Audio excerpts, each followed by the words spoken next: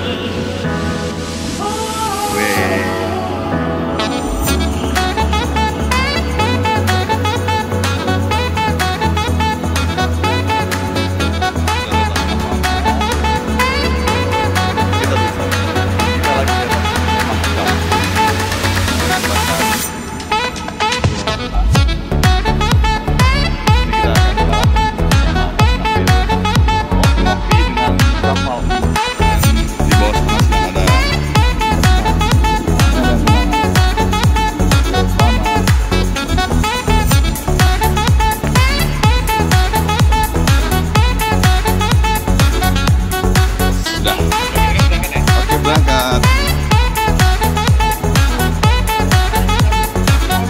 Singapura eh Bung Riki nih yang, yang punya kawasan. Singapura juga ke Batam ya nanti kita mau tanding One Championship.